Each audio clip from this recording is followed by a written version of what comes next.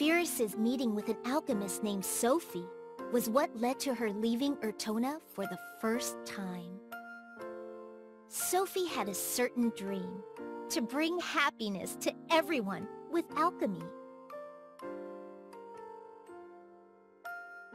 Having decided to travel together, her dream gradually became Firis' dream as well.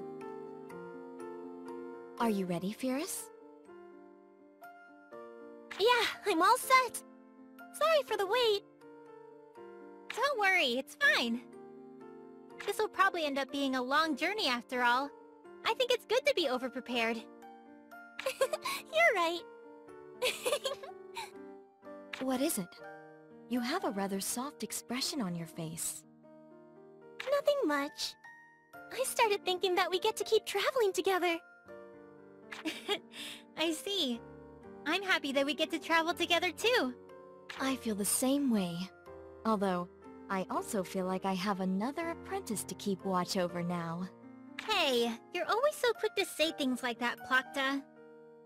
I don't know about me, but you don't need to keep watch over Firis. So you agree that you require it? Oh, um, that's not really... oh, you! anyway, we should get going. Yes, we don't have a particular destination, but our goal is clear. Yeah, our goal is to bring happiness to everyone through alchemy. That's right! I'm sure we can do it! Alright then. Let's set out, Firis!